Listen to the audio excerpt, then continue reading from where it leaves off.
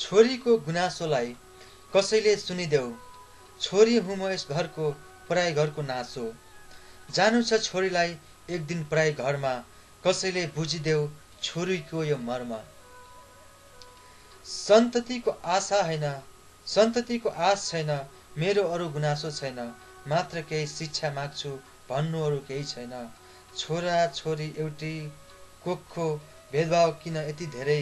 छोरीको जात माथि अन्याय किन यति धेरै? जन्म लिएको घर छाडी जानु छ पराईको घर छोरीलाई माया पाउने मनमा छ केही रहर। छोरीको गुनासोलाई कसैले सुनिदेऊ?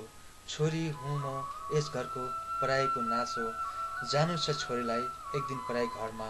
कसैले बुझिदेऊ छोरीको यो मर्म? धन्यवाद यो मैले दुई एघार उन्नाइस सय एकानब्बेमा लेखेको थिएँ। जब म टिनेज थिएँ।